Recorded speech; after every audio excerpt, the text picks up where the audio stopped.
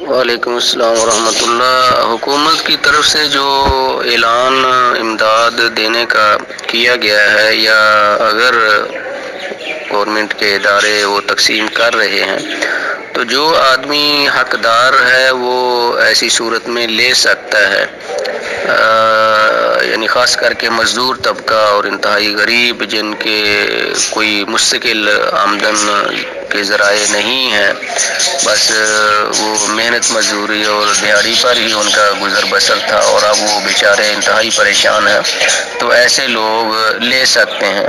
بلکہ یہ حاکم وقت کا فرض بھی ہے کہ اپنی رعایا کے جو بنیادی حقوق ہیں اور ضروریات ہیں ان کو پورا کرنے کی، پوری مقدور بھر کوشش جاری رکھے تو ظاہر ہے کہ یہ ایک ہنگامی کیفیت ہے، صورت ہے، اللہ رحم فرمائے۔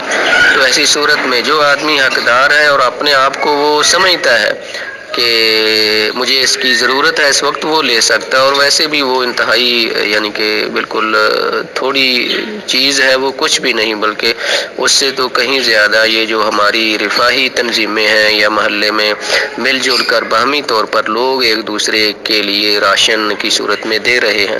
میرے خیال میں یہ باپردہ بھی ہے اور یہ بہتر بھی ہے۔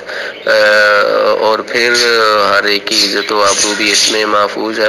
چونکہ جو گورنمنٹ میں ریکارڈ چلا جاتا ہے نا پھر وہ بار بار اس کی تشہیر ہوتی ہے اور یہ ایک ایسی چیز ہے، ایسا معاملہ ہے کہ انسان اس معاملے میں اپنی شہرت یا دوسروں کے نوٹس میں یہ بات آنا اس کو کوئی شخص بھی پسند نہیں کرتا یا گوارا نہیں کرتا۔ تو اگر کوئی شخص واقعتاً مجبور ہے، تو وہ لے سکتا ہے۔ اس میں کوئی حرج نہیں ہے۔ واللہ عالم السلام علیکم۔